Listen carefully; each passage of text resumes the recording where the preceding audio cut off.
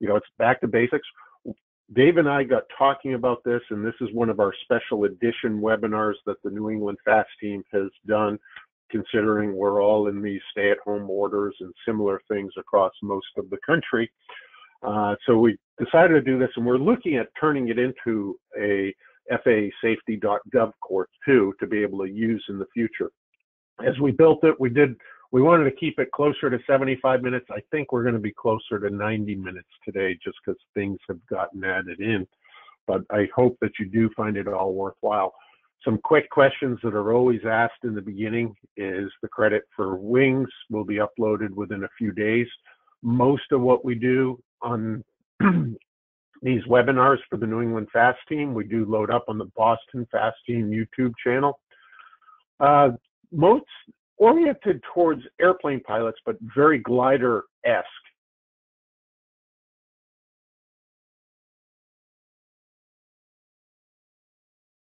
Landing out an ALC-629 gliding for the airplane pilot. You may want to take a look at those courses, definitely. And you definitely do want to take a look at the handouts tab uh, that we have up there is there's an advisory circular on the wings program, advisory circular for flight reviews. There's the notes page, back to basic questions and notes. There's a generic glider quiz that you can use for your glider, you know, regardless of what make and model it is. And then there's actually a combined document. It's wings for gliders.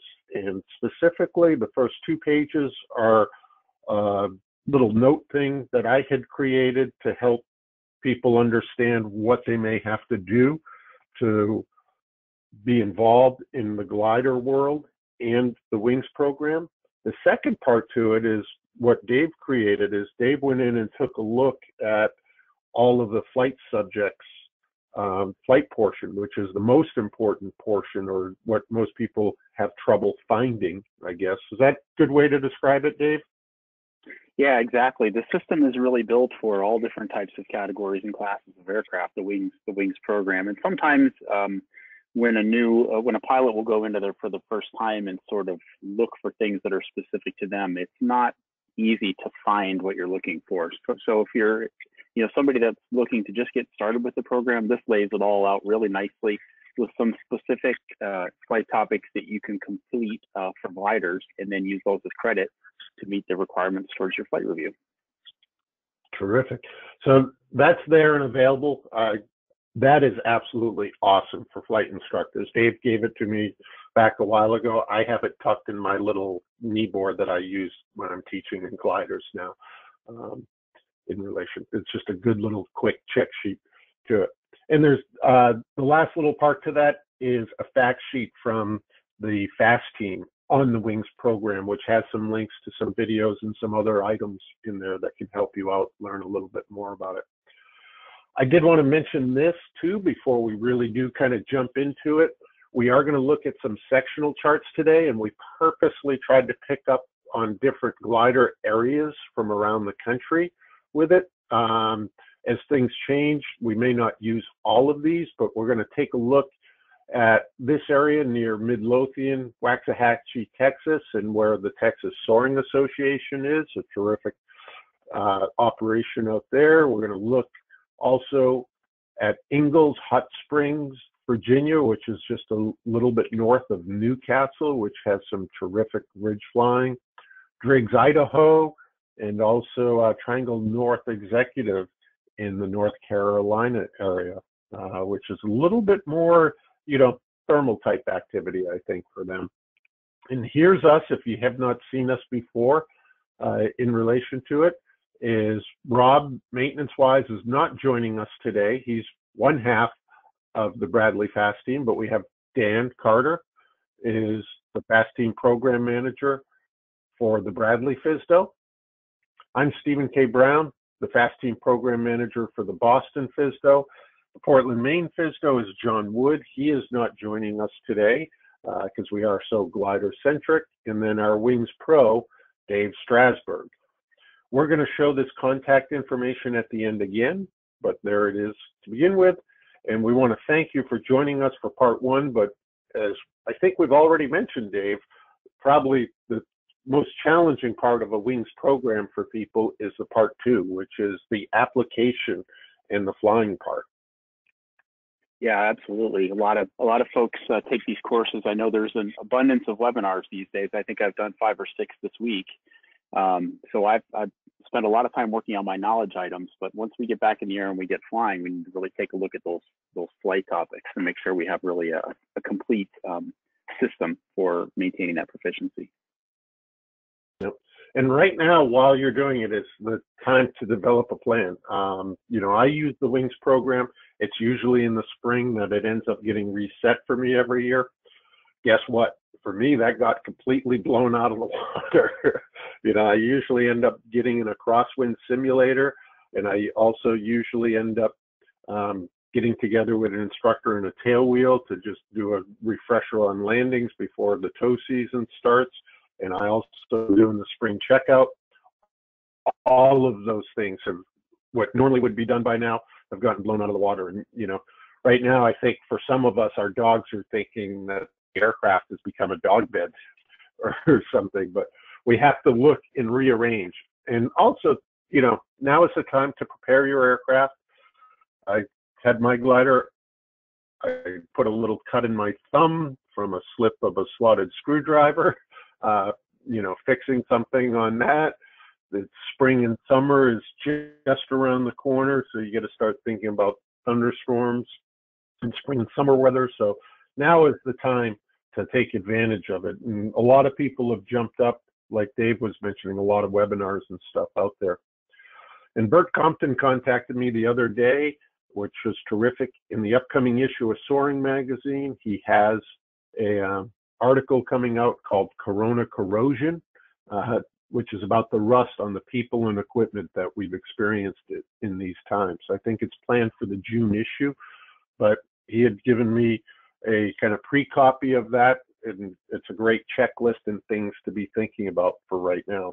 And many of you have asked a lot of questions, you know, flight review questions and stuff like that pretty much you know as much as we do as field office safety inspectors right now.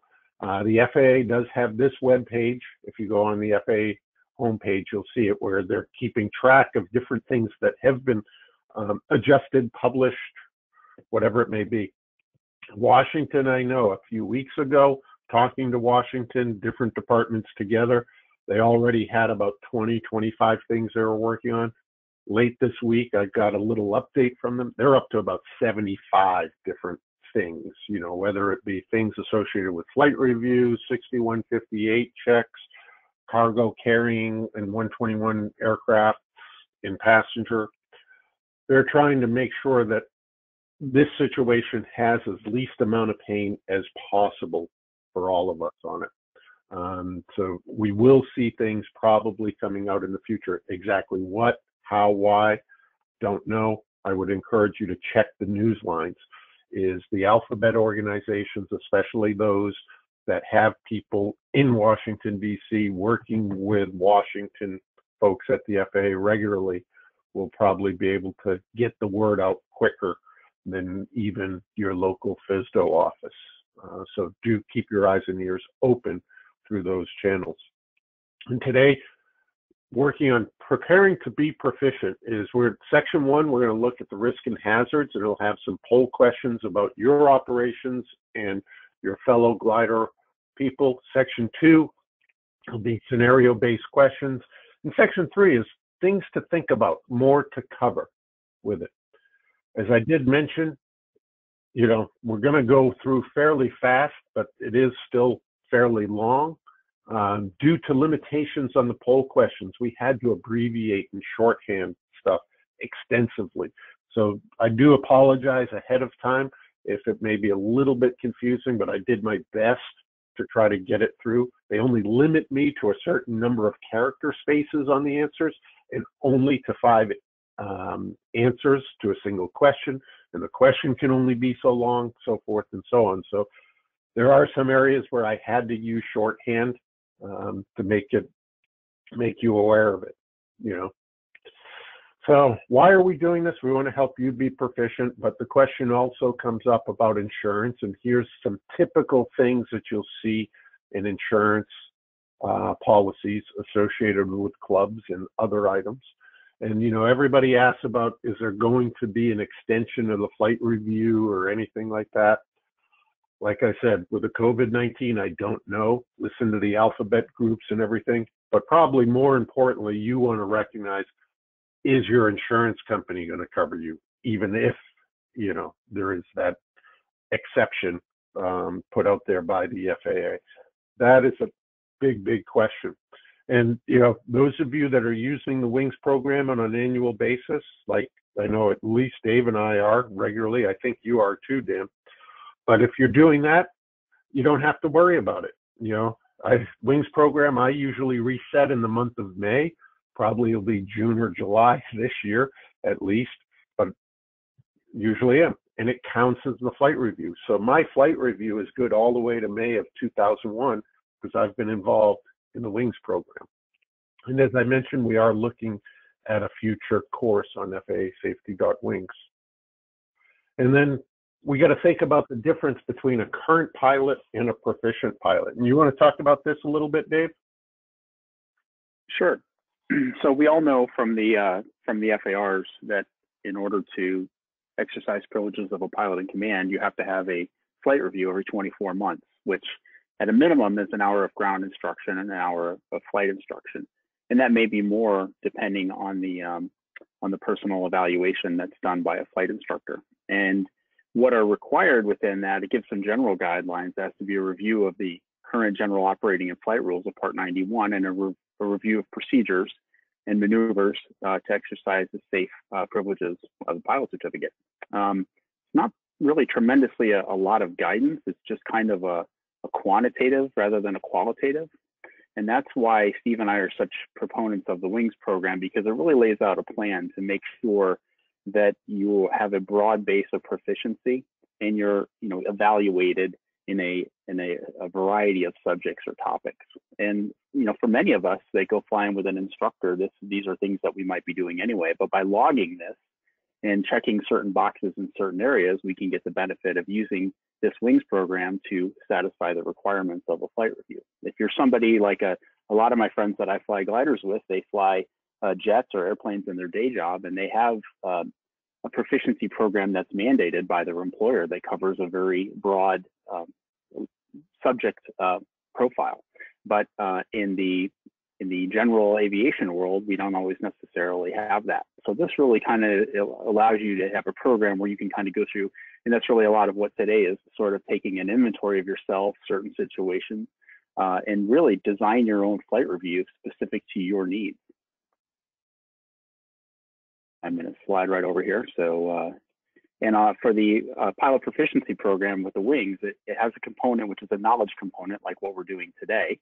Um, and you'll see listed under there, you've got a number one, a number two, and a number three. And those are not just quantitative. It's not just about doing three knowledge topics, but it's about doing a variety. One topic has to be on aeronautical decision making. One has to be on private uh, primary accident causal factors, and the other can be an elective subject. And you'll see those listed, uh, two of the ALC courses that Steve has. One of those is a basic knowledge two, and the other is a basic knowledge three.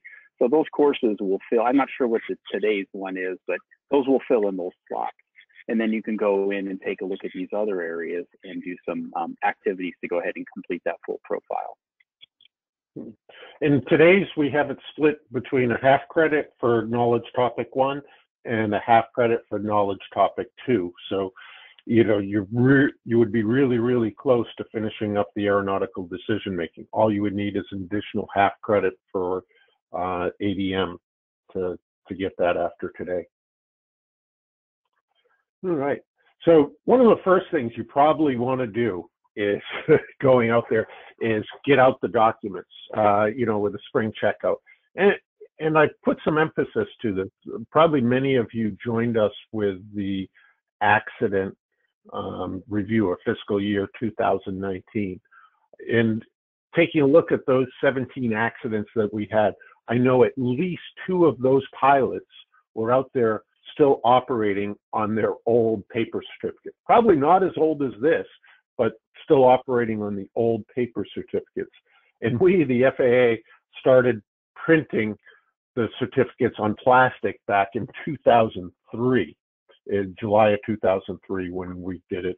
And we did have a rule change that everybody needed to upgrade PilotWise to the plastic certificates back in by April of 2010.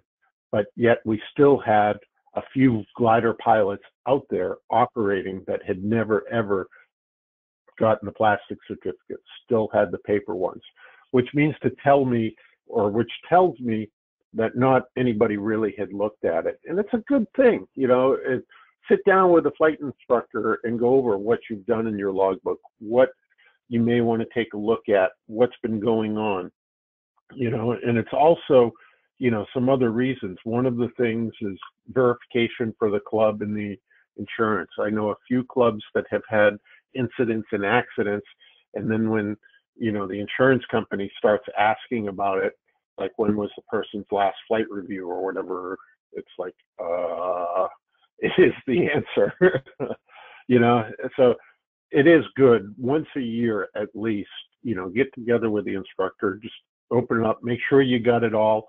You know, it's better off to find the problem, you know, with a flight instructor at your local club and get it resolved quickly ahead of time than to find the problem when you've had an accident or an incident and then find out that maybe the insurance is not going to end up covering you on that.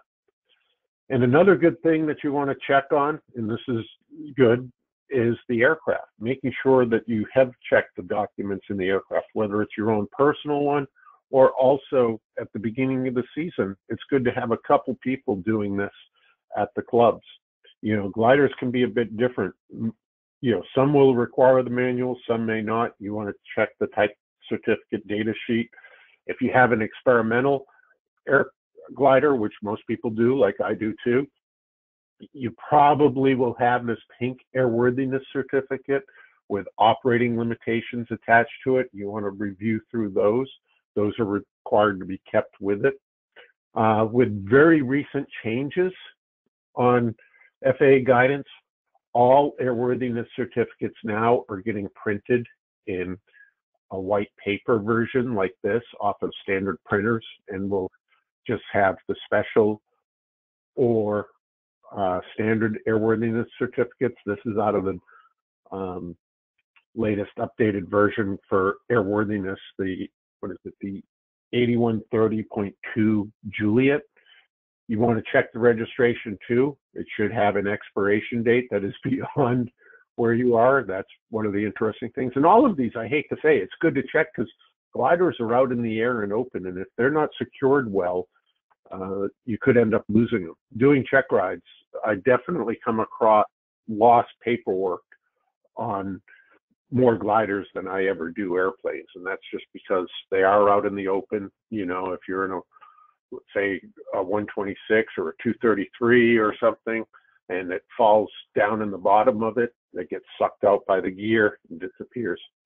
Also, that 8130.2 Juliet, this is something that a lot of people have talked about. You know, you get different recommendations or whatever, but FAA policy has changed on this, and this is right in the 8130.2. But now with airworthiness certificates, we encourage everybody to go ahead and protect the document by lamination or some other means. And that actually is right next to it's in the document multiple times, but it's right next to this figure right there if you ever are curious and taking a look at it. So we're going to go ahead and jump into the poll questions now. And this is section one, where what we're going to do is go through a series of them. We got eight questions in this first series, and we want you to note to yourself what you may have experienced, vote on the poll, and also then take a look at what others have to say. What is an issue at other clubs or other glider pilots or whatever else it may be. So I'm going to go ahead and start working on opening up these polls, and Dave's going to have to help me quite a bit here. And we have it kind of oriented, associated with the practical test standards, kind of the different areas of operations with it. And here's the first poll question. And I'm going to go ahead and launch. All right. And let's see. It says it's distributing the poll. And I have experienced the following during aircraft rigging. So if you would, please go ahead and vote. The first few here, I'll talk a lot. We got 350 plus of you, uh, about 353, 354 people out there. And we, want as many of you voting as humanly possible. You also, on the this section, you can vote for more than one item. If you've had two or three of these things happen to you, you should be able to click on them. So we, we can get a whole bunch. It's not going to add up to 100%. If you've only had one happen to you, you can click on just one. If you've had all five happen to you, you can go ahead and, and do it. So, all right. I'm going to go ahead and close that poll now, and then I am going to go ahead and share that with everybody. And as that comes up, Dave, could you go ahead and kind of fill us in on what we had percentages wise? Okay, sure thing. So uh, in in first place, we have uh, failed to use a checklist at 56%, uh, forgot to install battery or forgot cushion slash parachute, etc. at 20%. Next, at 19%, we have left a tool or unneeded supplies in the glider. Uh, next, we have rigged a glider in too small a space or difficult rigging at 13%. And then uh, at the bottom, thankfully at 6%, we have failed to connect a flight control or safety. Uh, I think that's pretty. Uh, I think that's pretty uh, in line with what I've seen. I think uh, you know, there's a lot of moving parts, and um, in a glider operation, and sometimes we're limited by the days a week that we want to do them. So we we may feel this uh, pressure or urge to try to hurry things along, and um, definitely agree with uh, taking the time to go over that checklist and making sure that you haven't uh, left anything out there. Yeah, and the checklist will probably help you solve a lot of those other problems. You know, the six percent that failed to connect the flight controller safety. You know, I emphasize there that probably has one of the largest impacts. That's the type of thing that does lead to an accident. And I also encourage people make sure you have a checklist. Take what the manufacturer has and maybe add to it. I, I use this is I have a rigging checklist that's broken into two parts that I use. I've taken the manufacturer's checklist, I've added to it, but I have fallen or gone into the failed to install the battery or forgot the cushion or parachute uh, twice now. In the beginning, I forgot the battery, and one, I changed my checklist to make sure it was there. Two, that also was a highlight to me on those days. Is whoa, let me take a time out here.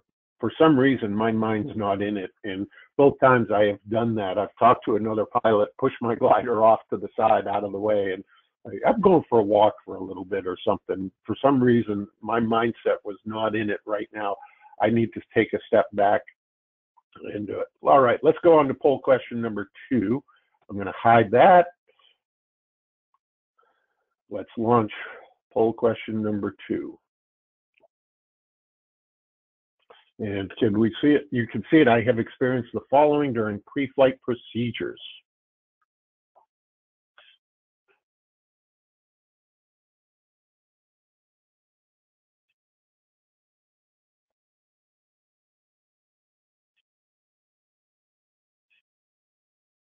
So, like I said, we got 354 of you on right now. You can vote for multiples of these.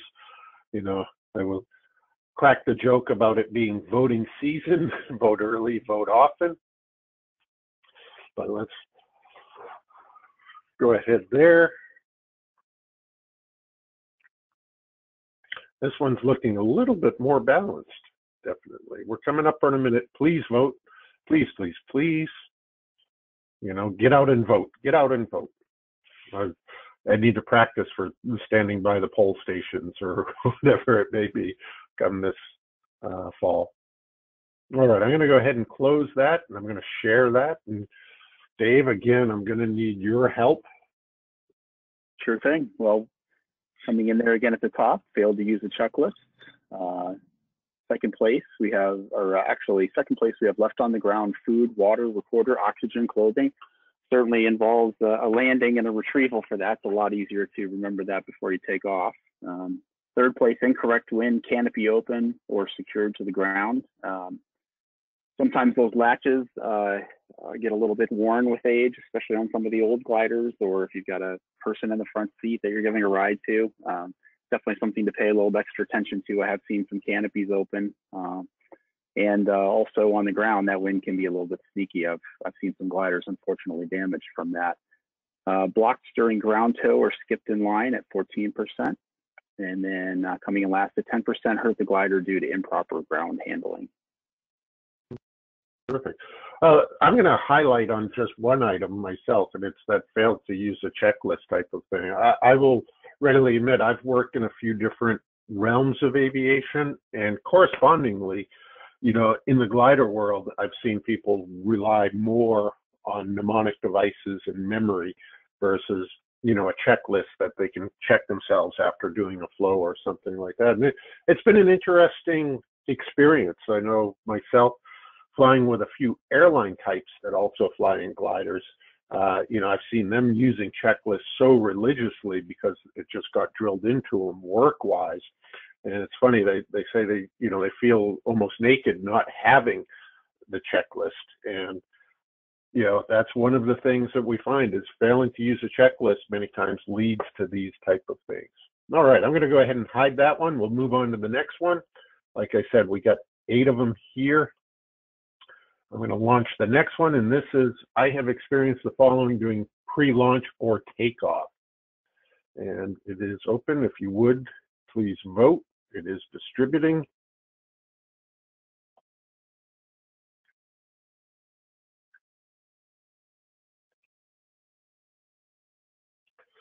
So we will let everybody vote there. What do we got? It looks like felt rush, but launched anyways. Had wrong frequencies in the radios, used incorrect tow ring or knots in the rope. Air brakes not stowed or latched. Tail dolly still on. All right. Like I said, we're now got a couple more people that have joined us. We're pushing 360 now. We're going about 63% of you have voted. Would like to have it up at 80% or higher, please. It'd be awesome. But I do know there's a couple groups that are also watching, so it's hard for everyone in the group to watch if they're watching off of one screen. I'm going to go ahead and close this.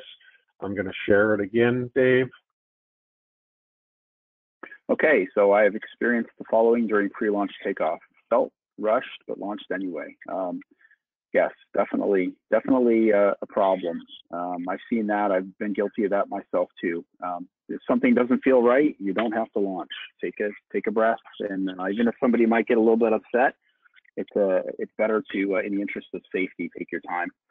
Uh, second place there had wrong frequencies in the radio. Yep, if somebody that flies with multiple glider clubs, uh, sometimes I'm on 22.7 when I'm supposed to be on 22.8, and uh, land and everybody says, uh, were you calling on the radio? And I said I was, and then it's the wrong frequency. So definitely something you want to pay attention to. Air brakes not stowed or latched. Um, certainly have seen many situations. I know in the Globe that I fly, you can have the uh, air brakes closed, but unless they get that final pop, they're not actually latched. And as soon as you start generating lift, those will get sucked right out of the wing. Um, used incorrect tow ring or knots in the rope, and tail dolly still on. And I'm going to mention here with this one, there's another member of our community that is probably really important in all of these, and that's the person wing running and helping you out. Is this? I think you know a lot of clubs it does end up usually it's the newer pilots or the youth members that are doing the wing running type of thing, and most people don't recognize how important they can be. But you know they're the ones that either can help you stop from being rushed or inadvertently push you in, into being rushed. They're also the ones safety wise, you know, that they can help you with checking the tail dolly still on, the air brakes, you know, should be checking the controls. We'll talk about the tow pilot course or the um, wing runner course later on.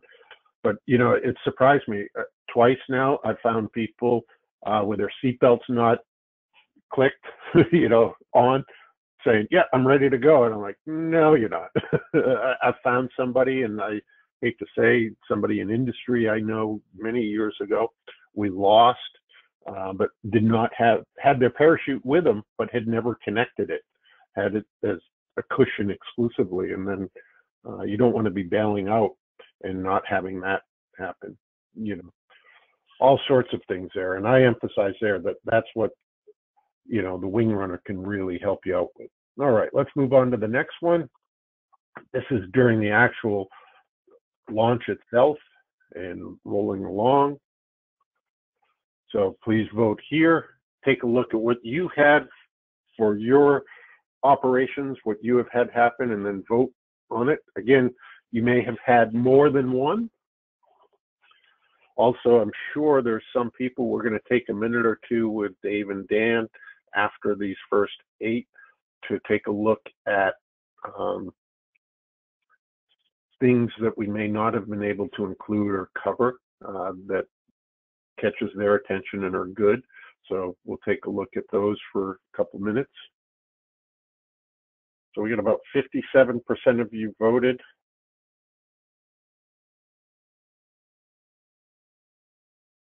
I'm going to go ahead and close this one. We'll share it. Again, Dave, over to you. Okay. So we have uh, crosswind directional control issues. Um, definitely a challenging time in a glider with a crosswind, uh, going from having no control to uh, changing levels of control uh, attached to somebody else. Um, I always tell everybody, I, I think the takeoff is the most challenging time in the glider. Uh, kind of the easiest thing in an airplane, and then the landing gives you trouble. But in the glider, in my experience, it's sort of been the other way around. So um, thinking about those things ahead of time is definitely important. Uh, trim this set, balloon or PIO.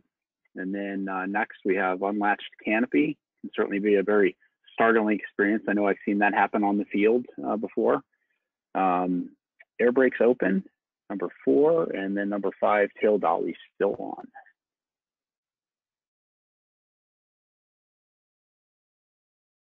I will go ahead. Let's move on to the next one. I'm not gonna. Let's see. During the aerotow, and we did have to kind of choose one. This being the most prevalent, uh, we did choose aerotow versus ground launch. You know, uh, winch or whatever, and also motor gliders. But if you do that type of operation, that's terrific. A good opportunity to get together with others, mentors and instructors that do that type of operation with you and maybe talk about what challenges you may see there. But we'll go ahead. I've experienced the following during aerotow.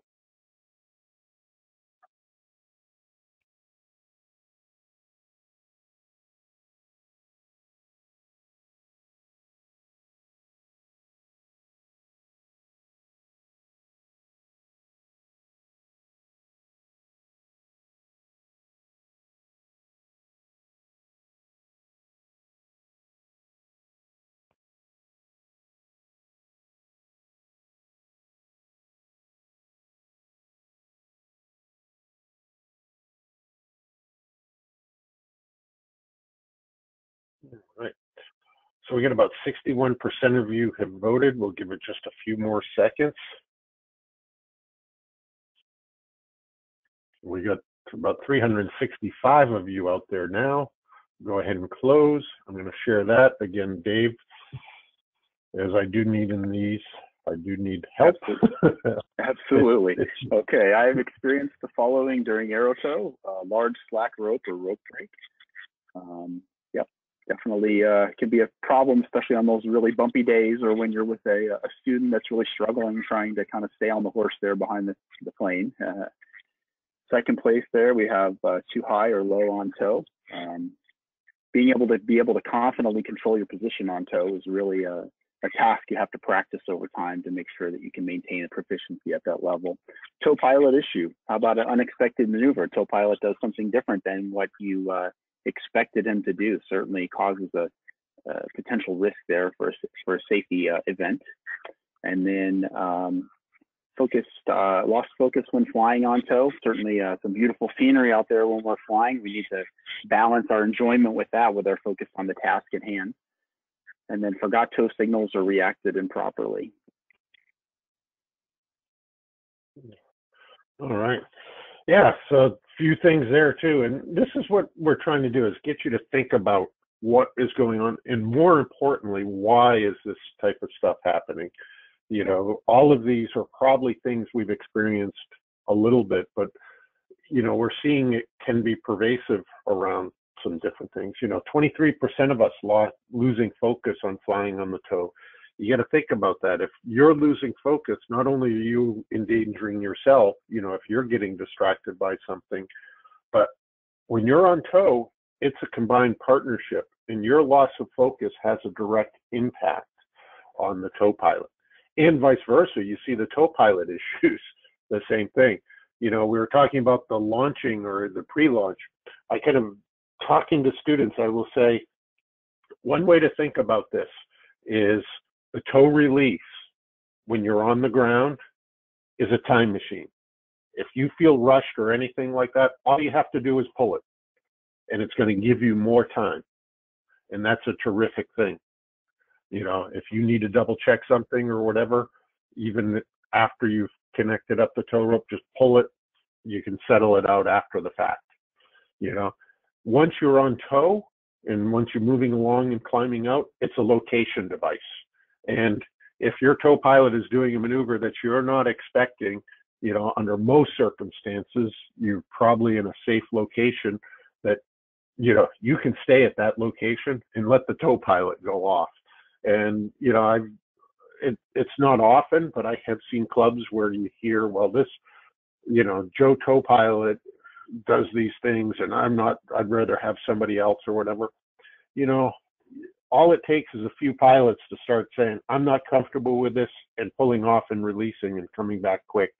The word will get around to the club and to the tow pilot is, hey, maybe we need to look at Joe because uh, they're not doing what is expected of us. And Dan, you're still with us. You've been answering some of the questions, I assume, and we're probably getting in uh, comments on these, I would hope. Uh, yes, Stephen. Um, we some people are having a little bit of technical difficulties with the voting. Uh, one person oh, okay. logged out and logged logged back in, and they were able to then vote.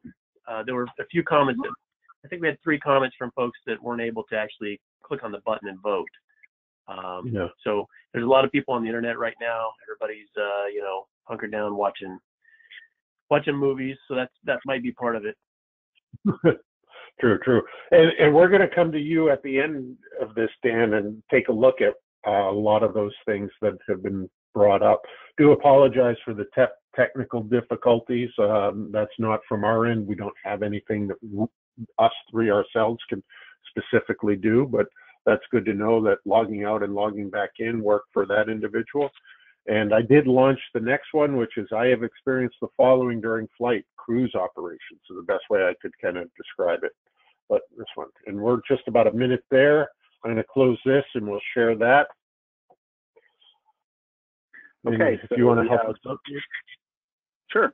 So I've experienced the following during flight uh, cruise operations. Uh, we have uh, too close to another aircraft at the uh, top level. Certainly can be a startling experience if somebody's, uh, you know, these white gliders flying around in the sky with these clouds, and somebody comes up silently and you're not expecting them. That can be a bit of a be a bit of an event. Um, unexpected wind drop, wing drop or stall. And then in third position, we have airspace intrusion or geographically challenged. Uh, you know, a few times after uh, extended thermaling, I turn around and say, "Oh, gee, where was that airport again?" I'm flying in an unfamiliar area. It's really important to, to try to maintain your situational on your bear, awareness and bearings at all times. Canopy open or other significant distraction. And then in fifth place, we have unusual attitude or spiral dive. Back over to you, Steve. All right. Terrific. Well, that is interesting to see. And again, I'm going to go ahead um, and move us along. I hope that everybody is taking notes. Let's talk about the approach to the airport. And this is not actually the touchdown landing itself, but as you're coming in, setting up for the airport, I've experienced the following. I'll launch that one.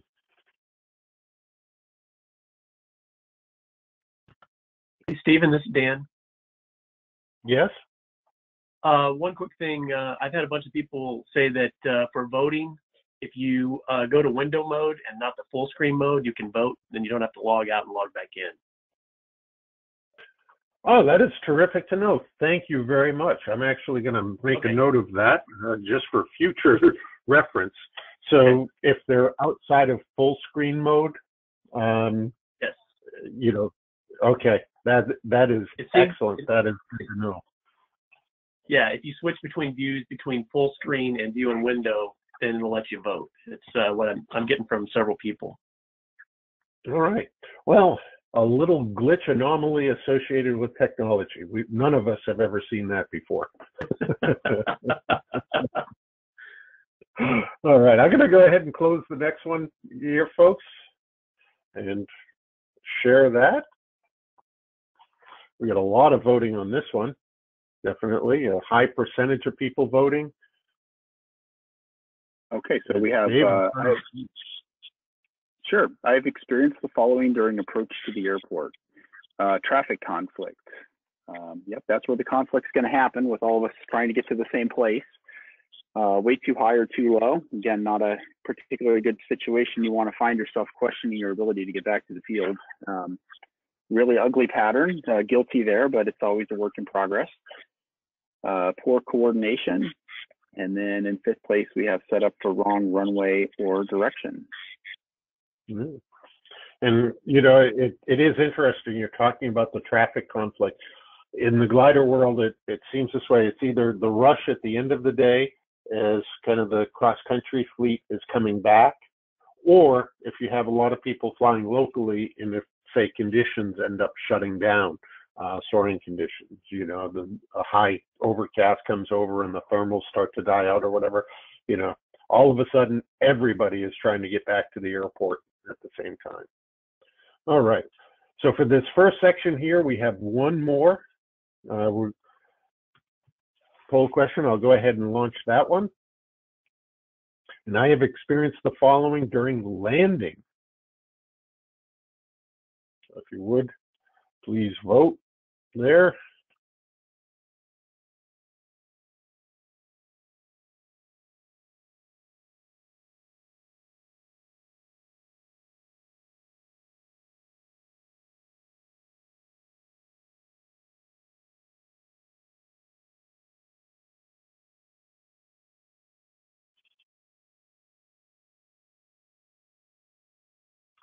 And we're up to about 70% of you have voted. We got about 365 people out there. Just so you know, get an idea of, you know, we're getting a good sample of glider pilots, which is awesome. Excellent. We're up to about 75% of you have voted. I'll go ahead and share that. And this is the last question in this first section. And I hope you have been taking notes. But Dave, we'll go ahead and bring that Okay, so to Yep, you. so we have, uh, I have experienced the following during landing. At the top position, we have a hard landing. In second position there, inadequate airspeed control. Third position, uh, bad crosswind technique or ground loop. Fourth position, forgot landing gear or flaps. And uh, in the fifth position, hit something on approach or rollout. Stephen? Yeah. And probably, you know, all three of us have said this over and over and over again. You know, a good pattern, precise flying leads to a good landing. You know, when we look at that hard landing at 57%, I my first reaction to this is it's directly related to that 49% of inadequate airspeed control and that 25% of bad crosswind technique and I forget the percentage number. Probably someone put it down in a note, but um, on the last poll about the real ugly traffic pattern or the poor coordination, um, you know, that's probably goes right back to it. And then in the beginning, we were talking about checklists, but the forgot the landing gear or the flaps. I, I can't emphasize enough checklist discipline uh, in relation to this. All right, so there's the first section. I hope you have taken um, quite a few notes with that. Uh, found out what you've had as issues, maybe that you want to work on, and also take a look at what rest of the glider community is. And you know, this is a I snapped this picture when at where I fly, we had three different clubs flying there together on one day, and all the differences between them. It makes me think, hmm, you know, I, I wonder what are the risks that people see at other clubs. And you know, we had the survey. We'll take two minutes here, Dan. You know, what are some of the things that people brought up that probably we weren't able to cover in this survey? Oh, okay. Um, let's see. Here's one uh, where someone uh, mentioned that the wing runner uh, caught that the tail dolly was on, and uh, oh, the person went on to add, "I still owe that kid." Yep. so you know, you were talking about the uh, yeah, kind of a shout out to the wing runners there. Um, let's see, what else do we get? Um, we had people talking about um, mentioning the control checks and taking your time, uh, uh, not letting people, um, you know, getting back to not being rushed, especially during uh, if when you're putting your if you have your own glider, if you're putting it together. Uh, just to, yeah. someone mentioned that. Um, uh, we had one where um, someone was approaching to land at a glider port, and the spotter did not spot them as they were coming in. Um, so it's it's definitely a team a team effort. Uh, let's Yep. see what else we got here. And I'm going to jump in there. That's a terrific thing to work on with your flight instructor is doing some adjustments to your landing for the last minute. You know, if, if you're kind of on that downwind base final uh, area in the traffic pattern, you're probably not going to have the opportunity to adjust significantly, but you can adjust where you touch down, whether it be laterally or horizontally on the runway um, in those type of things. And you know, I've had a circumstance once where three different gliders for ended up coming to the airport all at the same time, very very close to each other, and you know, trying to work that out. It gets to be a challenging decision, and it requires some uh, fortitude and precision on the part of the pilot. What else did we have, Dan? Uh, well, this was kind of interesting. This was, uh, you know, a slightly different perspective. Here's one from a tow pilot uh, who noticed that there was some problems and uh, basically gave the pilot time to, you know, kind of catch up. You know, um, it was actually during flight, and he said that he, he leveled off. I thought that was interesting. Um, I know as, as a tow pilot myself, um, you know, the big thing I used to always watch out for. Uh, I was I towed mostly the Grob 103, and as Dave was mentioning, you know, the dive brakes come out on uh, on takeoff. I had that happen to me. Um, you know, and, and fortunately there was enough power with the airplane and enough we had enough uh, room where I just was able to drag them up. Um, but yeah, I found that was pretty interesting. Um, a lot of people are mentioning Condor, Stephen. A lot of people missing Condor during this time. Um, Oh, You yeah. know, we're all, uh, yeah, it's a way to, you know, you were talking about the uh, Corona rust. I, I found that Yep. interesting. Terrific, terrific. Yeah, that is. my Um, my son is more into it than I am, but uh, that is a terrific tool out there. Um, definitely. Yeah. Here's another tow pilot that mentions that um, he took off with full flaps and uh, no one bothered to say a word to him. so, Wow. you know, oh, um, that's one thing I, I love about the, the glider community is uh, we all kind of have to watch out for each other. It really is a team sport. Yeah. yes. All right. And you know what? Oops. Sorry about that. I hit the wrong button. But getting into this is of the why. You know, why is it that we're doing this first little section here? And it's to help you understand what the hazards and the risks that you have to help you improve, you know, and discuss. That's what we want you to do. Discuss this with your instructor and your mentor. Maybe save the notes that you just had and bring that when you finally do your spring checkout or adjust your proficiency program to focus on these areas and root causes.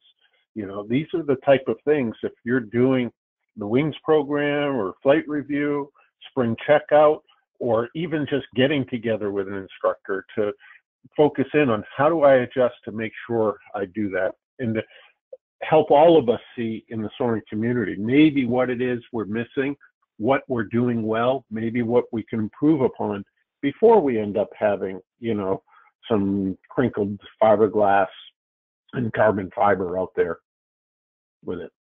So the next section is we're going to move into, we're going to have poll questions again. However, these are going to be scenario based.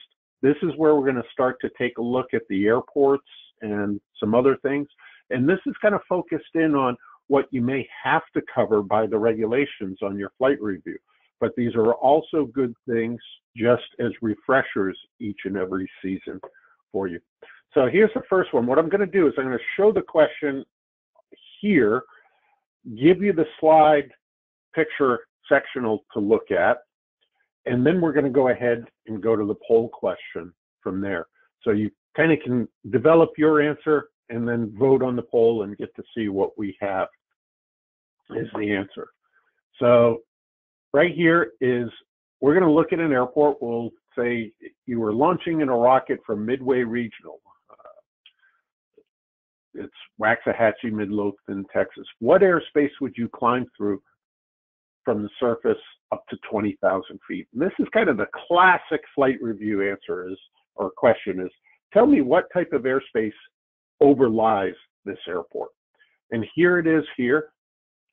That is the airport right there. You should have enough information available to you from this picture to be able to figure that out. So, you know, jot notes to yourself on your piece of paper. You're starting at the surface and you're climbing up. What airspace will you go through as you climb up to 20,000 feet? Give you a couple more seconds here to look at this diagram. and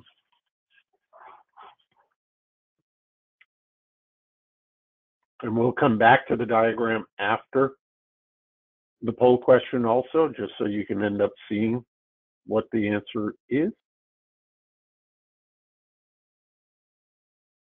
All right, and Dave, I'm going to go ahead and launch the poll. What airspace would you climb through from the surface to 20,000 feet? Over Waxahachie Midway Regional or Midlothian.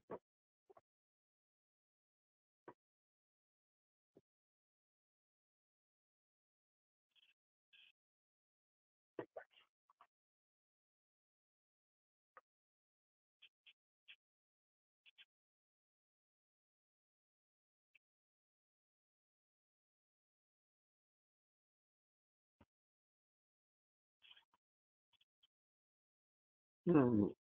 All right. We got about 35% of you have voted. We got about 370 of you out there now collecting responses. We're passing 50%, which is awesome. These questions from this point forward, you can only answer one. Uh, you can't you can't game the system and choose. Well, I'll choose these three because I think one of them is correct. No, this one it's going to tell you directly uh, what people have chosen. So I'm going to go ahead and close that and we'll share that poll. And Dave, as always, I'm going to have to ask your help. Okay. So uh, we have uh, the winner coming in at Golf 700 feet AGL and then uh, Class Echo airspace up to 4,000 feet MSL. Class Bravo from 4,000 to 10,000. Echo above from 10 to 18 and Alpha at 20. And then we had variations on the others as low as what looks like 5% to what was the next highest one? Uh, the next highest one was in percentage for the question, 700 yeah. AGL, and then Golf up to uh, 4,000 MSL. Bravo from 4 to 10. So just the deviation there, uh, the difference in whether uh, we had echo at the surface or Golf at the surface and what altitude that it went to. I think this is one of the really good things about this presentation is actually pulling out an unfamiliar sectional. Uh, we get really good at uh, our hometown, our home, our home area here, and uh, you know, by kind of branching out into another area like that and asking ourselves, it really tests our our level of understanding, our ability to interpret that in an unfamiliar place. Yes, and tell you what is it looks like most people had the correct answer. I'm going to ask you, Dave, just to talk about it quick, but I'll use the pointer. The first thing is that probably is important is this magenta shading. Yeah, that uh, tells you that the, the level that the echo airspace comes down to. And by the shape of that, that's telling you that there's probably an instrument approach that's being protected going into that airport. So you have Yep. an air, airplane that's going to be gradually going lower and lower and operating, uh, and, and they're going to be busy maneuvering as they go through their checklists and drop their gear and make sure that they're configured and all set up. And uh, the glider thermaling out in that area as well um, may may be a, a recipe for a, a close call. Yeah. And so we have G up to 700 feet where it transitions to class echo airspace, which is the first controlled airspace. So below 700, you're in uncontrolled airspace. That continues up to 4,000 feet, and we actually have an outer shelf of the Dallas Fort Worth Bravo that goes from 4,000 to 10,000. Then above 10,000, it becomes class echo again, up to 18,000 where it becomes class alpha airspace. All right. Why don't we go ahead? Let's move on to the next question, which is going to stay right in the same spot, but it's going to ask a different question about it. Is what are the differences in airspace between KJY or K Kilo Juliet Whiskey Yankee? That's easier for me to say, and the TSA glider port, which is right next to it. And here's what we have as the answers. You'll see these again in the poll question. But what we're looking for is the differences. And here is Midway Regional, which we were just looking at, and we just determined the correct answer there. Right here is TSA glider port. These are two airports that have different types of glider operations, but close to each other. Uh, what is the difference in the airspace surrounding these? So if you would take a look at that, I'm going to go ahead and open the poll in, let's say, three, two, one.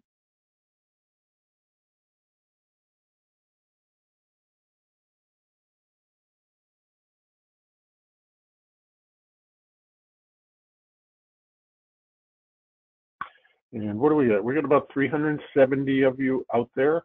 Again, I'm telling you that just so you know, you know, when you look at these percentages, how many people are out there voting. And the more you vote, the better. Even if you're making your best educated guess. What it is, is we want all of us to get together and help everybody else out here. Even if you don't know the right answer, you know, give what you think is the right answer, you know, to see. Maybe you know more than you know or thought that you knew. Maybe it'll help guide you to what you need to maybe put some focus on. So we're coming up on about one minute here. We got about 55%. Please vote, please vote, please vote as it goes. I'm going to close that and share it now, Dave. Okay, so we have uh, coming in first place, uh, TSA out uh, out of Mode C veil, no overlying class Bravo, and the Golf goes higher to uh, 1,200 feet AGL. Excellent. And that sounds like a really, really good answer to me. Does it to you too? I'm gonna. Yeah, I'm trying to hide this. There we go. what were you saying, Dave? I'm sorry. I was just going to say, uh, if you're looking at this chart and scratching your head, really this whole course is about um, aeronautical decision making and taking a personal inventory of an area where you feel like you might need a review. So if you haven't looked at a sectional chart in a while at someplace other than your home airport, this is an opportunity to dig in and do one of those free wings courses that uh, Steve is going to list on the uh, on the seminar here and uh, brush up a little bit in that area. Yeah. And when you take a look, right here's the edge of the class Bravo. TSA is down south of it. Midway is there. TSA appears to be just outside of this magenta shading. Inside the lower 48, almost all class Golf airspace either goes up up to the 700 feet or up to near the 1200 feet. Um, it's very rare for us to see it go much, much higher than that in the lower 48 states. But outside the sharp edge of the magenta shading is tells you where the transition from Golf to Echo is at 1200 feet AGL. A few people did jump at the 2,500 feet, which is just a distractor purposely there. And also, it's slightly outside of the Mode C veil uh, in relation to it, which also is where um, ADSB is required now for airplanes and aircraft with electrical systems, that sort of thing. And correct me if I'm wrong, Dan, aren't uh, you and Rob doing a webinar on ADSB soon? Uh, yes, that's right. Uh, I don't remember the, the exact date, um, Stephen. I'm not sure if it's been confirmed, but that's something coming up in the next week or two, and uh, we'll be sending it out on um, FAAsafety.gov. Uh, it's going to go out nas- national, so it'll go out nationwide. I just checked the Terrific. schedule on that, and uh, Dan, it's going to be 6:30 on this coming Tuesday. Oh, okay, Excellent. quicker than I thought. I will. I will be there. You- you know you what? for setting me up so much time. I guess I better work that day. No, thank you. Sorry about that. Um, Yeah. I guess it's already gone out. Then I stand corrected. It's already gone out. Is that right? The notice. Okay. Probably has, probably has, yes. All right, so next one, we're gonna move to uh, Ingalls, Virginia, uh, kind of ridge soaring type stuff. This kind of goes back into your home territory, Dan, so I'm gonna ask you on these uh, next few questions here uh, to help out versus Dave. Uh, Share the wealth, I guess, is the saying as it goes. But uh, this is near New Castle, Virginia, which is a popular soaring place.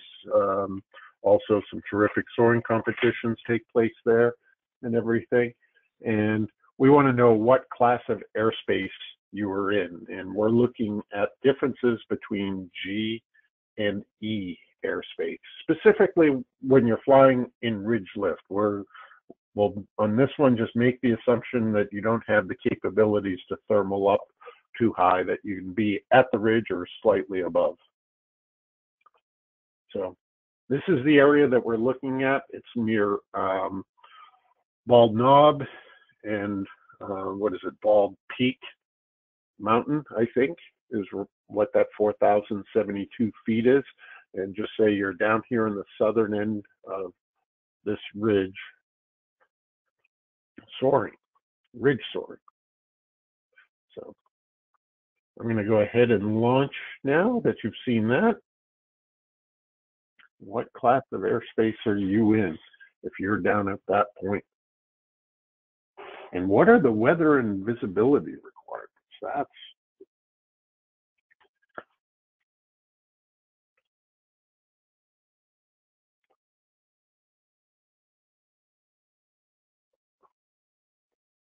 so again, if you would, please vote. Vote early, vote often. We're creeping up to 375 of you out there now. We got about 55% of you have voted. You can only vote for one answer now. The section one, you could vote on as many answers as you desired, but now we're just taking a look at one answer. And I'm going to go ahead and close this one. And I'm going to share that. And since we're getting into the ridge world, Dan, I'm going to turn it over to you versus Dave, if you could help us out with this. Oh, Okay. Um, all right. So you want me to read the uh, the poll results here? Yeah, if you would, please. Just uh, they're Okay. too small Okay, for no me to problem. read. Okay. So uh, the number one choice was uh, Class G, one mile and clear of clouds at 50%. And let's see. The number two choice was Class E, three miles, uh, 500 below, 1,000 above, 2,000 horizontal. Uh, the next choice at 17% was Class G, uh, three miles, 500 below, 1,000 above, uh, 2,000 horizontal. And then uh, in last place at 9% was Class G, one mile, 500 below, 1,000 above, 2,000 horizontal.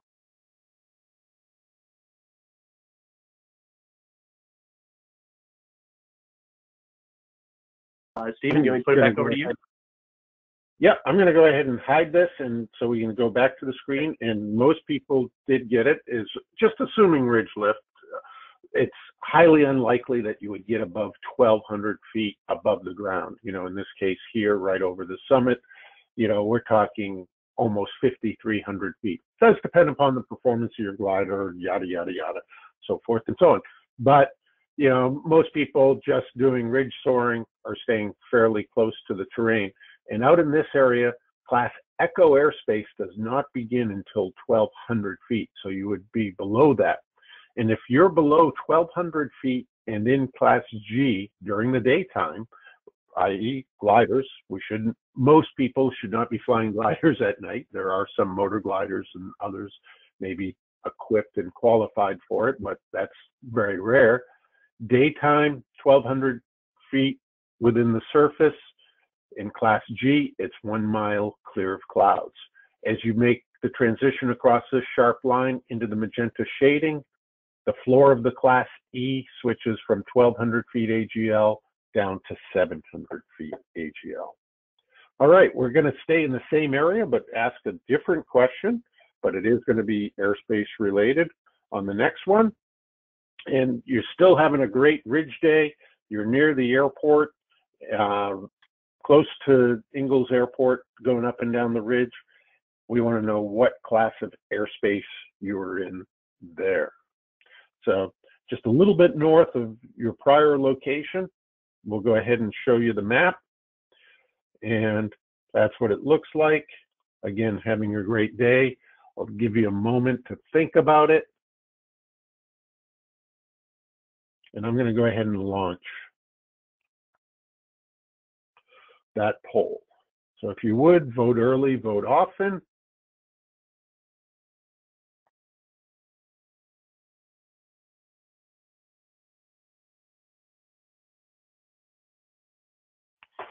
please do. Like I said, we got 370, 375 on of you out there.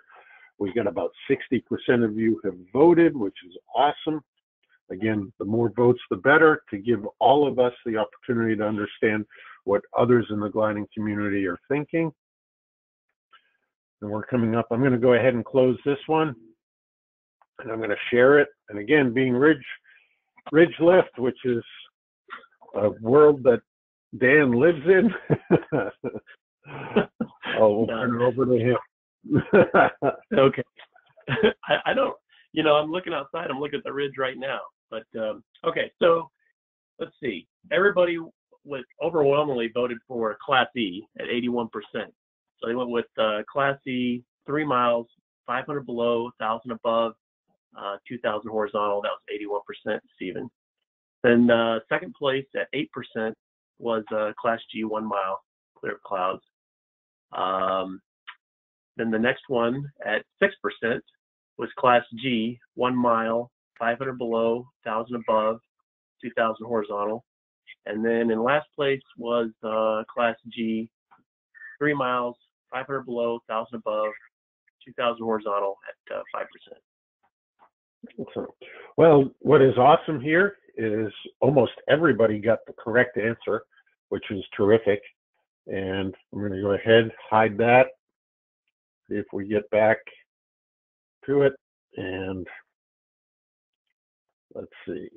Uh, you still looking at the poll? It looks like it. Looks like I'm running into a glitch. Yes, we're still looking at the poll right now. Okay, let me click on that one again. I'm going to do share. I'll do hide again. Let's go back to the presentation.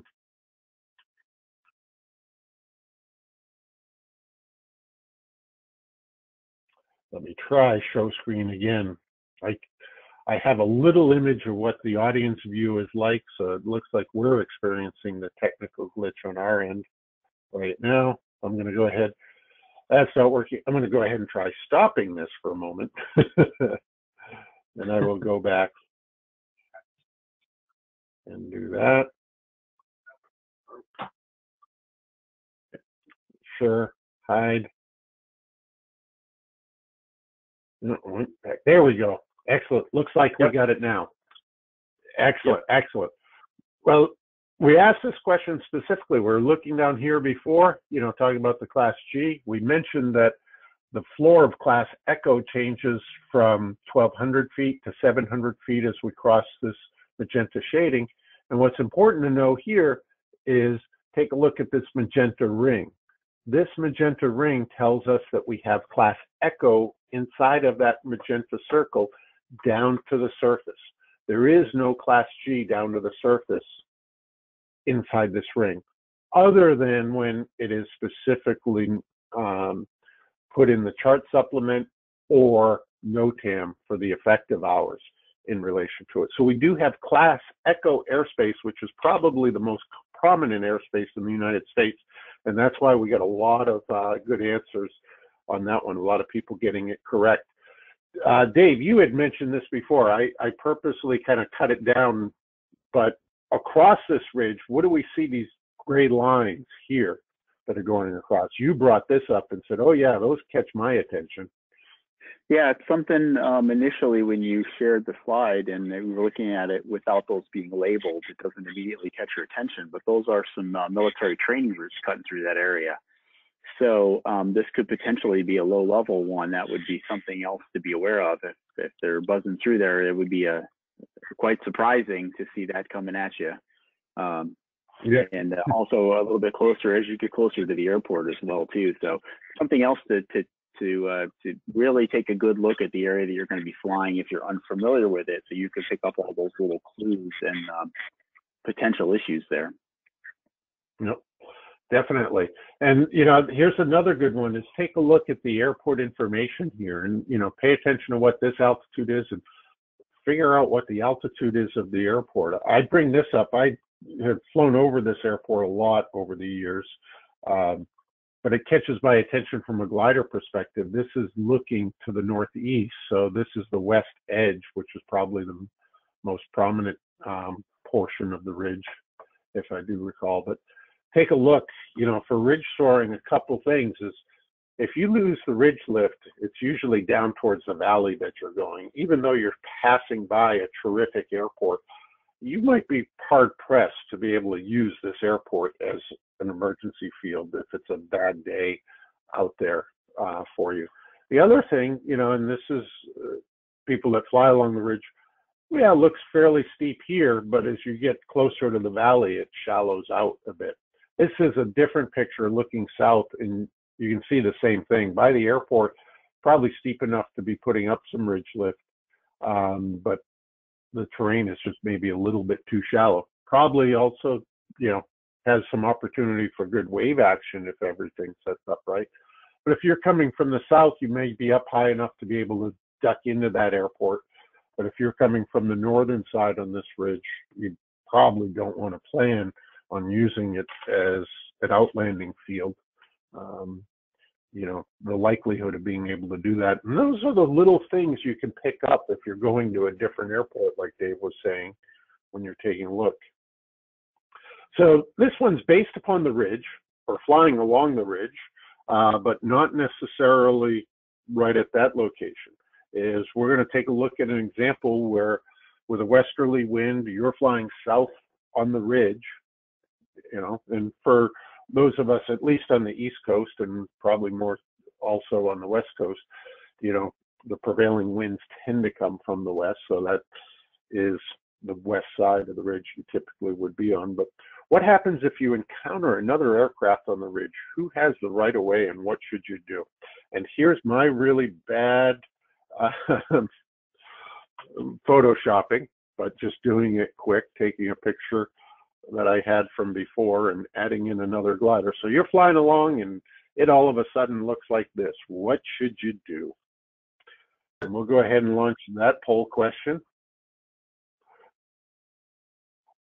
I've heard people say duck uh, in the past, but no, you should do more than just that. So I'm going to go ahead and share that poll question.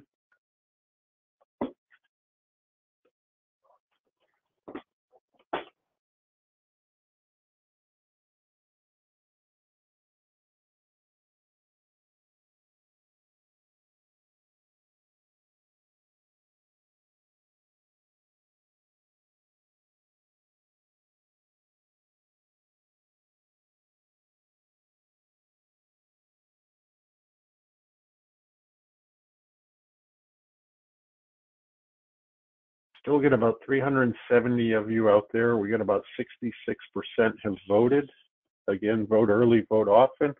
I'm going to go ahead and close the poll now and we'll share it. And we'll take a look. Who wants to jump in, Dan or Dave? I'll take it, Stephen. Okay. Okay, Go so um, all right. Uh, this one was overwhelmingly 75%.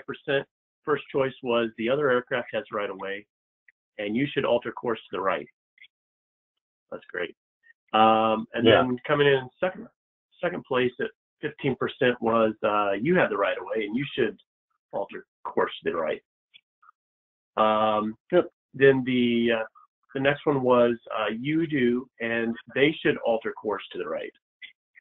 That was at eight percent. And then uh, at two percent was the other aircraft, and they should alter course to the right, and that was at two percent.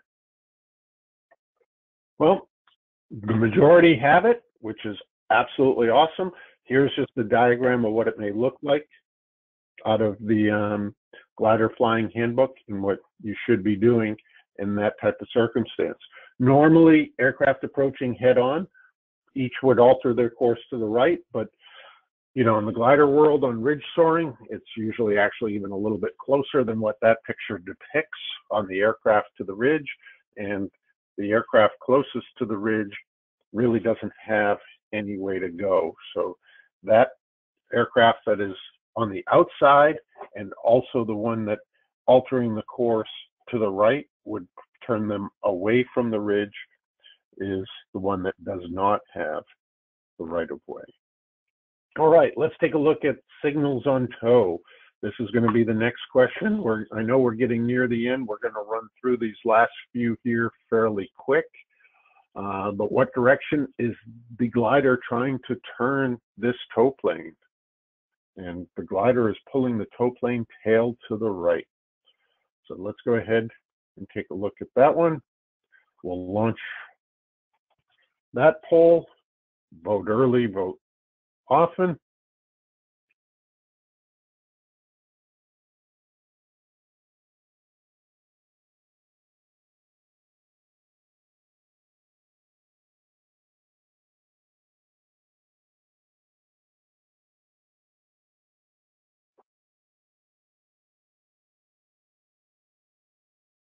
All right, we got quite a few. We'll close. We'll share that one. And tell you what, we'll go back to Dave. We'll get some variety in this. How's that sound? Sounds good.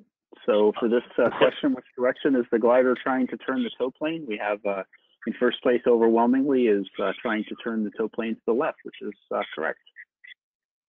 Excellent. Excellent. And that is true. This is actually the diagram taken out of the Glider Flying Handbook. If you have the original publication of the Glider Flying Handbook, um, these pictures were shown incorrectly, is what direction it was trying to turn. It has been corrected in an errata sheet, but uh, not everybody has necessarily seen that. That is available on FAA.gov. Now, this could be a similar uh, diagram to if you were boxing the wake. Uh, a couple different things to just recognize there is a standard practice, and what we recommend in the glider flying handbook is before starting to box the wake that the glider will go from the high tow position to the low tow position, and that's partly to signal to the tow pilot that they are boxing the wake. Also, based upon you know the diagram, you don't. It's hard to see, but you the rudder is um, not over to the side. Is the pilot would have to have quite a bit of rudder input here to actually keep from the tow plane being pulled around. We're going to talk about signals again. The next one is we're not going to look at the picture until after the fact, but here's what the next poll question is, and I'll go ahead and launch that. And then I'm going to actually go to you on this one because you said as a tow pilot, you've seen this. Okay. Um, related to Let me. So I'm going to go ahead and close this poll and then share it. Is it sharing? There we go. All right. Yeah. Over to you, okay. Dan. We got it. All right. So um, question was, what is the signal from the tow plane to the glider to immediately release? And uh, 89% uh, overwhelmingly voted for rocking of the tow plane wings. Um, Excellent. Yep. Which is good. Which is good. Yes. And here's kind of the signals that people tend to get confused uh, in relation to it. The signal that we're looking for for release immediately is a significant rocking of the airplane wings. The one you were talking about earlier is something's wrong with the glider, specifically like you mentioned the air brakes on the glo- Grob and fanning the tow plane rudder back and forth. I think you mentioned it, which is one of the things that a lot of people recommend if you're flying tow planes that have enough horsepower is wait to to do that fanning of the rudder. It's, you know, just if you got the horsepower, drag it up and over, drag the glider up and over the airport first before giving the signal.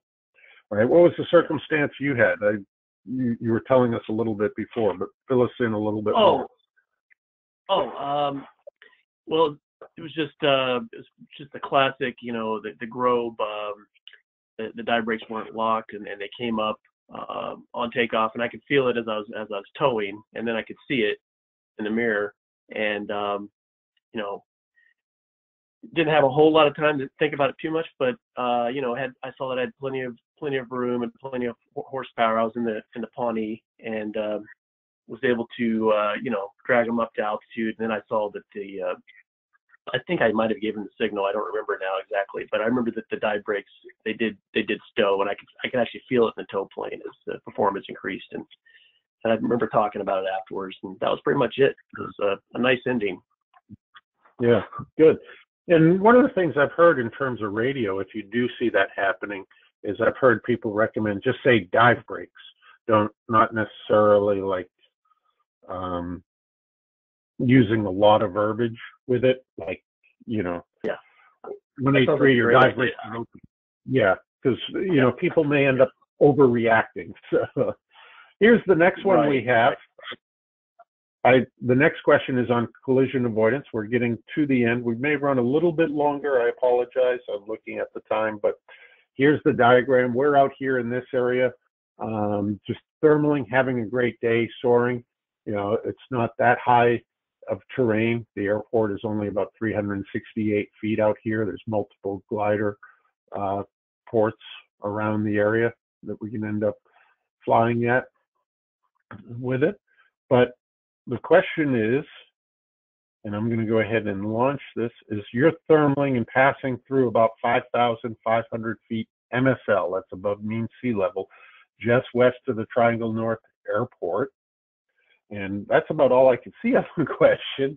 But I, if I remember correctly, it's like, where would you expect traffic to be coming from?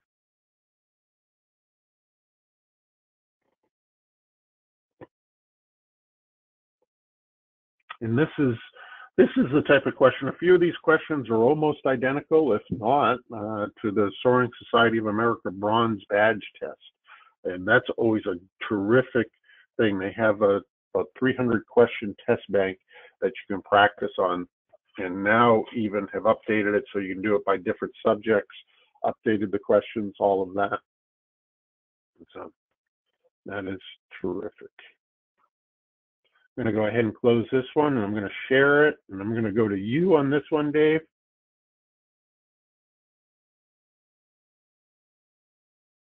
So we got the results up. You want to cover the results, Dave? Don't know if you're on mute by chance. Just double check. Uh, my batteries just ran out of my headphones, so I uh, switched them. Oh, really? I'm sorry. Yeah. That's okay. I was scrambling. Just- I'm sorry I'm on mute. It's been the story of my life these last couple weeks. yeah. so thermaling at 5,500 feet MSL west of Triangle North Airport. What direction would you expect VFR traffic to come from? From the west heading east. So that's definitely a situation of, uh, as a glider pilot, you may not always necessarily be thinking about uh, cruising altitudes, but having an awareness of what the other guy is doing can certainly help with your decision-making process.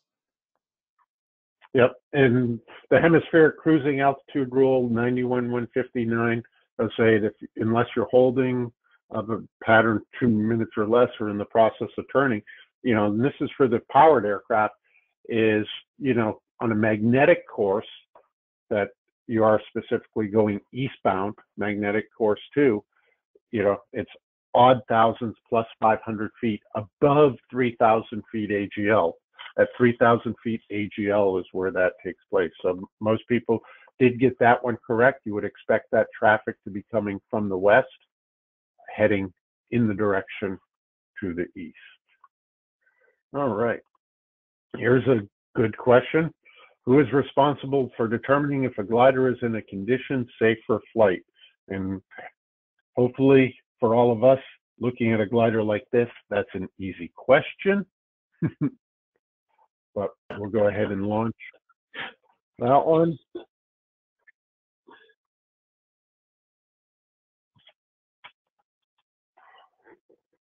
Oh, I like the answer on this one. This one's an easy one.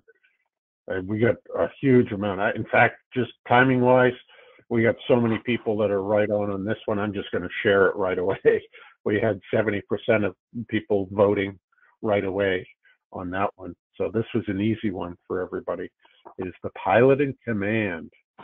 It is, you know, and then it's the owner or operator that is responsible for maintaining the aircraft in an airworthiness condition.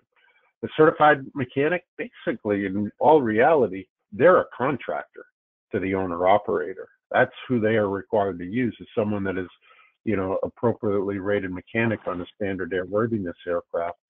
Um, you know, and they assist the owner in maintaining the aircraft in an airworthy condition and can check it and basically tell them that yes, they believe it is or believe it's not. But it's the aircraft owner for airworthy condition. It's the pilot in command in a condition safe for flight on theirs. All right. Right away rules. Let's go ahead and move into this one. You're on the right downwind and the tow plane is on the left downwind. Both of you are abeam the numbers. Who has the right of way? And you're kind of looking up at the tow plane like you see here.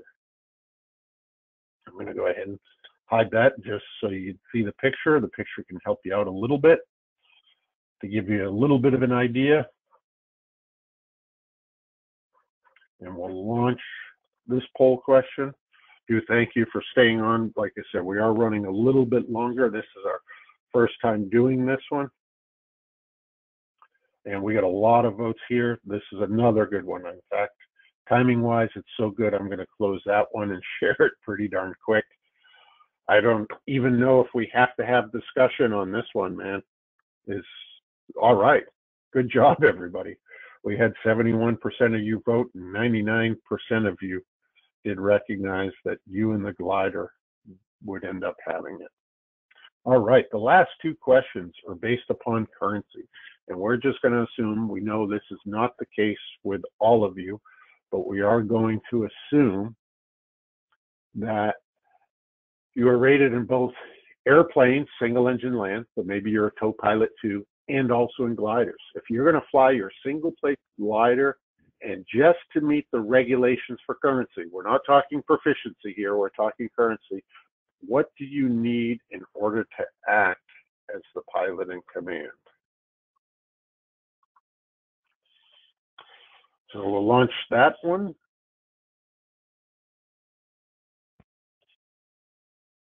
In this one, we are definitely, it looks like Dave and Dan, a little bit more of a spread on the percentages.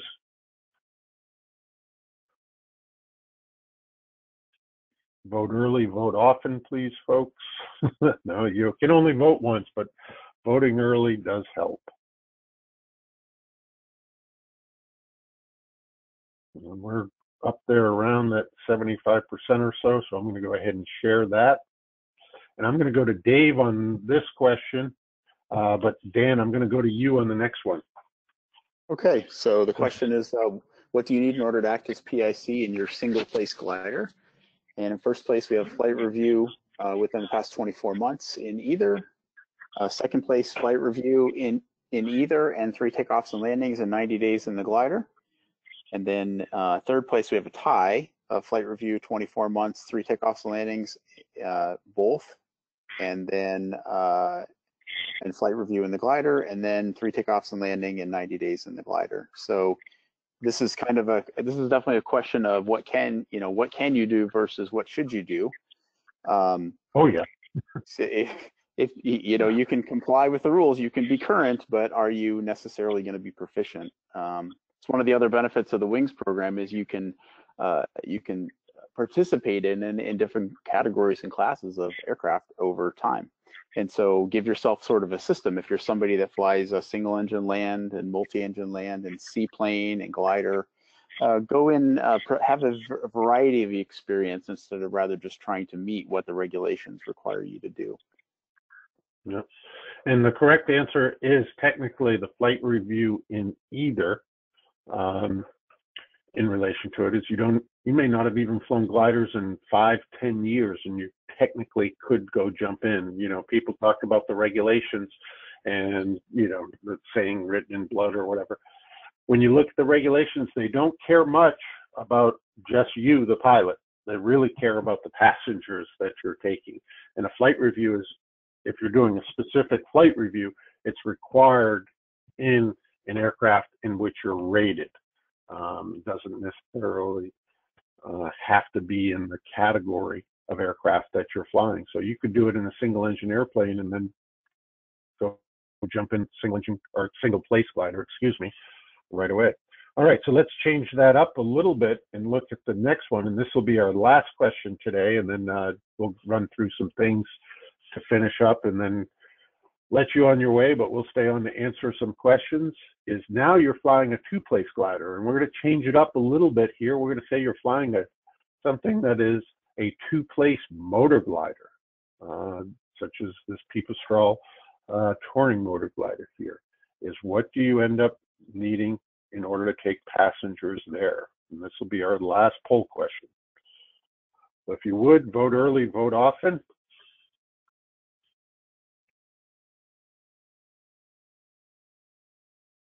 We're getting there.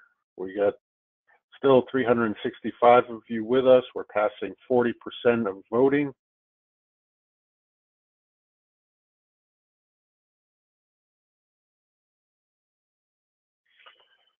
We'll go ahead and we'll say five, four, three, two, one. We'll close that. We'll share it. And I'm going to go to you, Dan, because I got a follow up question for you since you're Okay. a motor glider guy uh, too. By the way, I didn't seen that picture before. I didn't. I was having technical issues when we ran through this. That's actually uh, that's a picture of my wife and I's uh, motor glider, our old motor glider, when we were taking off out of Oshkosh. We just saw someone put that on the web, so I was kind of kind of laughing to myself when I saw that. Um, oh, yeah, that okay. you must have given that to Yeah. me back when you first started then, because I, I pulled it out of my Oh, um, okay. staff team pictures. Ah, yeah. awesome. We don't we don't own it anymore. We sold it uh, we sold it over the winter. But um, Oh. Anyway, okay. So what do you need in order to act as PIC carrying a passenger in a two-seat glider? Uh, 71% number one first first choice was flight review, uh, 24 months, and either three takeoff landings and 90 day glider. Um, so that was pretty pretty overwhelming right there. Yeah. Do you want me to continue? Okay. Yeah, actually, I'm gonna I'm gonna pose the question to you because I get asked this all the time, uh, and you Okay. deal with it flying these type of aircraft. These are the touring motor gliders is probably where the question comes up more often. Is that you know takeoffs and landings in the 90 days? If you're doing it in a motor glider like this, does it technically count for airplanes? Uh, yeah, okay. So um, if you look at the reg uh, 6158, it's on it's it's it's category, class, and type.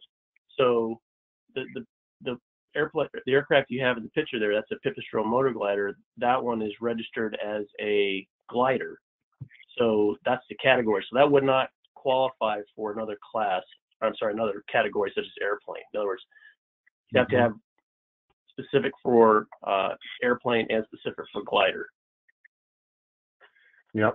And and we get people that ask that all the time is even though they may be very similar, it, it Yeah. doesn't count.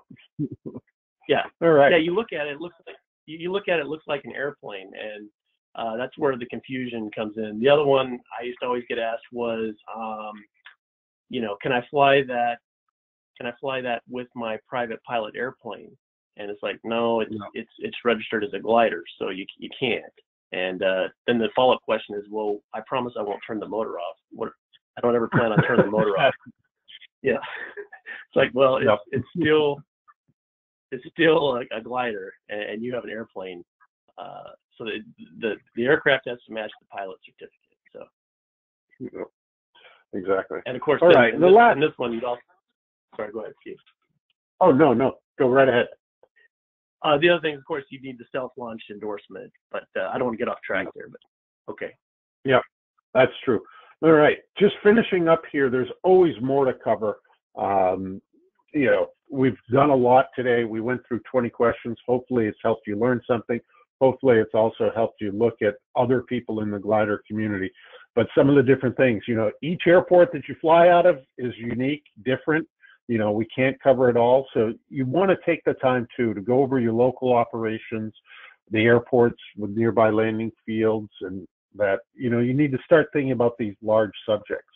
And what we would recommend, I do this myself every year, you know, but always each year take the uh, wing runner course that's on the Soaring Safety uh, Foundation. I do that every year in the spring. It's a terrific review. Uh, yeah, okay, I probably know most of it, but uh, you know, it's always good to review that. Also, the tow pilot course for those that are out there towing, you know, do it annually. For the glider pilots, it may be a good additional review, give you a little bit different perspective in relation to it.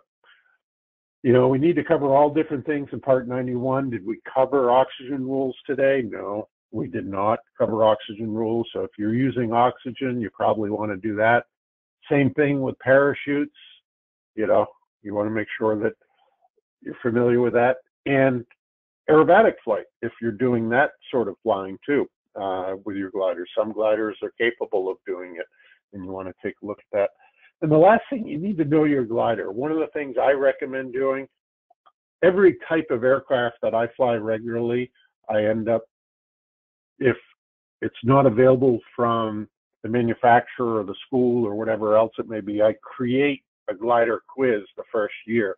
And every year I take that glider quiz also. It's just a good way to review the specifics for that glider.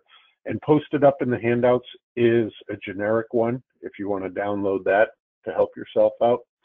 Even though it's mostly focused around the Washington, D.C. area, I recommend this um, for all pilots that have a private pilot certificate, even if it's just awareness and you learn some about uh, special air traffic rules and everything.